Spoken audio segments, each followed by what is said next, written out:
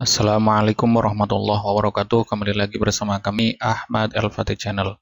Kali ini kita akan melanjutkan pertemuan kemarin. Ya, kemarin itu suruh salat, sekarang kita melanjutkan. Sebelum kita memulainya, kira kita kiranya sudi mengirimkan Fatihah buat mu'alifil kitab serta pendahulu-pendahulu kita, orang-orang tua kita serta guru-guru kita Al-Fatihah. Bismillahirrahmanirrahim. Alhamdulillah.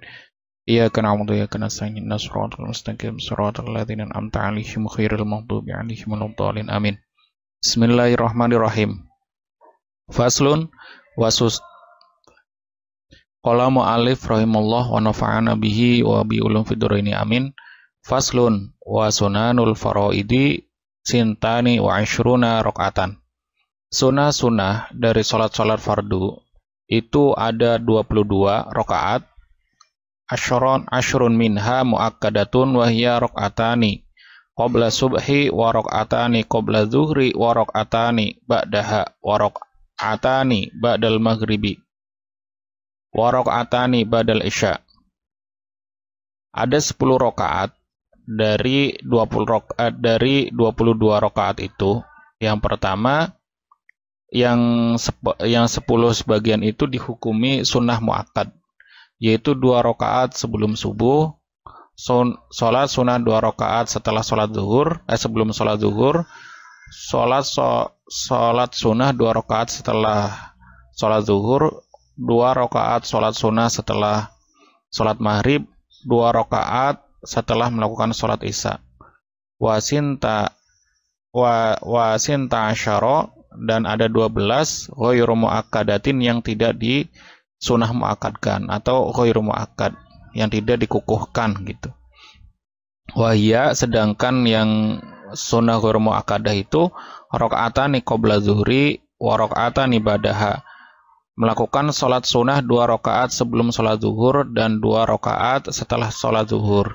Berarti melakukan sholat sunnah itu, qobliyah zuhur itu empat rakaat, dua rakaat, sunnah, sholat sunnah mu'akad, eh, sedangkan yang dua rakaat itu khairul mu'akad. Dan setelah melakukan sholat zuhur itu disunahkan untuk melakukan empat kali rakaat, empat rakaat, dua rakaat disunahkan mu'akad dan yang dua rakaat khairul mu'akad ziyadatan al muakkad alal muakkadati sebagai tambah, tambahan daripada sholat muakkad wa arbaun qoblal asri dan empat rakaat sebelum sholat asar. Nah, ini empat empat rakaat setelah sebelum melakukan sholat asar. Ini juga dihukumi khair muakkad. Rakaatani qoblal maghribi dan dua rakaat sebelum melakukan sholat maghrib. Walaupun ada yang mengatakan qobliyah maghrib itu tidak diperbolehkan warok atani qoblal isya dan melakukan dua rakaat sebelum melakukan isya, melakukan sholat isya. Wa ammal witru fahuwa sunnatun mustaqillatun wa huwa afdalu jami'i sunnani Uh, sedangkan sholat witir itu merupakan sholat sunnah yang sendiri, tidak mengikuti sholatul faraid. Sholat witir itu merupakan merupakan sholat sunnah yang lebih utama daripada seluruh sholat sunnah. Wa aqalluhu rokatan. Sedangkan paling sedikitnya itu satu rokaat. Wa aqalluhu rokatun. Dan paling sedikitnya itu melakukan satu rokaat.